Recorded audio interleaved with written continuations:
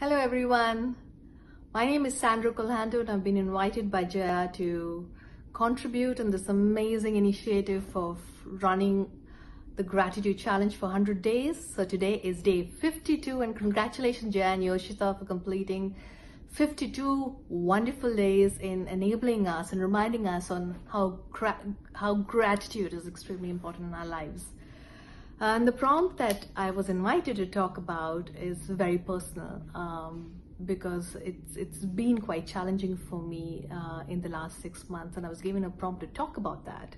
So it took me some days to absorb this prompt to be as honest, honest and authentic as possible on this video for all of you.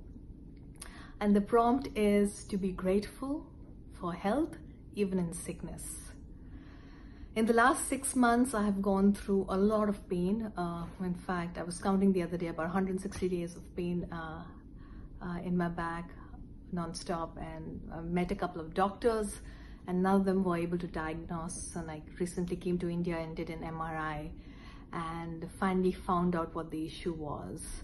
Um, it's an autoimmune disease called ankylosing spondylitis which is inflammation of the spine and uh, large joints. And it's a lifelong disease. There is no cure to it. You just need to manage it so it doesn't worsen. And so the few days when i heard about it, it uh, i was i was extremely low because this suddenly hit me. All this time i was thinking it's temporary but now i realize it's permanent. And um, it's difficult to absorb something that is permanent. And uh, i got this prompt to talk about health and i said you know it can't be coincidence to talk about it when i'm actually going through this entire process. And it made me think about pausing first pausing the sense of being a victim the sense of why am i going through this all over again? Because i went through another autoimmune 10 years ago that i'm continuing and now i've got another another one and I said, hang on, let's let's look at what this is giving me. Uh, and I realized that I'm still able to do things I love to do. I'm still able to train, I'm still able to facilitate, to coach, to be with my girls, be with my loved ones, to move around, uh, to see, to be mobile, even though there could be some bit of pain in the morning, but I'm able to do other stuff and and I don't know if everyone's able to say that.